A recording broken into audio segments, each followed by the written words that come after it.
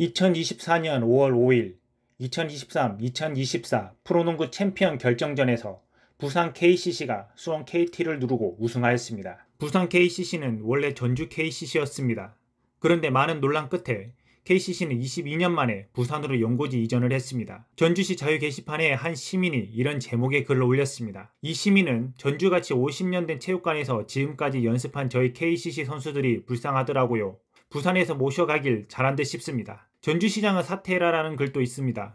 글 작성자는 오늘 KCC가 우승했다는 소식에 한편으로는 좋다가도 다른 한편으로는 열이 받는군요. 한때 전북의 유일한 프로농구단인 KCC 이지스를 부산으로 보낸 우범기 시장은 시장직에서 내려오십시오 라고 적었습니다. 부산 명예 시민이 된 우범기 전주시장입니다. KCC는 이번 시즌 정규리그에서 5위에 올랐지만 최종 챔피언으로 등극했습니다. 사상 첫 5위팀 우승이라는 기록을 세웠습니다. 프로 스포츠 팀이 4개나 있는 부산이지만 연고팀 우승은 1997년 프로축구 부산 대우 로열즈와 프로농구 기아 엔터프라이즈가 마지막입니다. KCC는 작년까지 전주를 연고지로 삼았습니다. 대전을 연고로 두다 2001년부터 전주로 터를 옮겼습니다. 이후 KCC는 세 차례 챔피언 결정전 우승, 두 차례 정규 시즌 우승을 차지했습니다. 이상민, 서장훈, 추승균 등 KBL 대표 스타들이 거쳐갔습니다. 전주 입성 당시 KCC에게 주어진 홈구장은 전북대 부지 내에 자리한 전주 실내체육관이었습니다. 1973년 준공됐는데 당시에는 전북을 넘어 전국 최대 규모 실내 체육관이었습니다. 그러나 시간이 흐르면서 시설 노후화와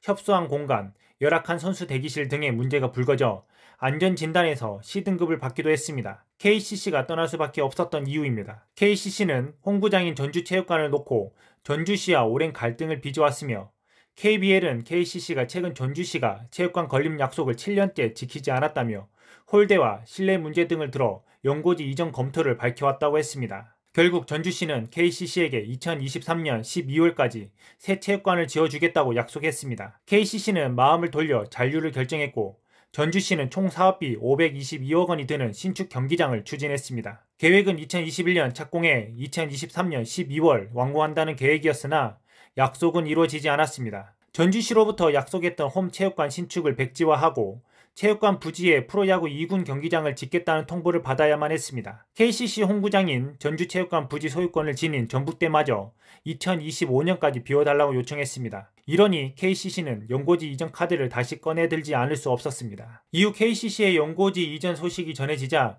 또다시 사람 가지고 장난치듯 전주시는 급하게 새로 홈 경기장 2026년까지 완공하겠다고 밝혔습니다. 기존에 있던 전주체육관의 철거 시기도 2026년 이후로 연기했습니다.